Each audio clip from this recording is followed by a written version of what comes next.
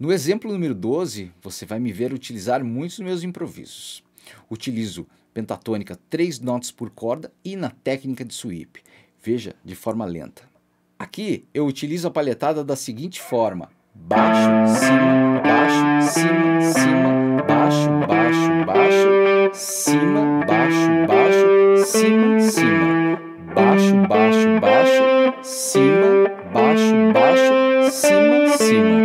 Aqui que é a grande sacada. Depois fica fácil, porque entra a tríade de dó certo? Palhetada só para baixo. Aqui já rola um cromático.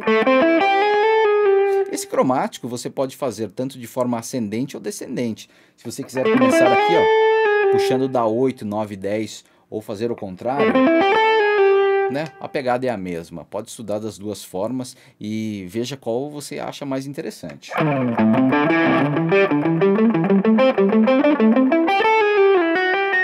Aqui eu já volto pensando aqui na sexta também. Blue Note na pentatônica e finalizando na penta tradicional.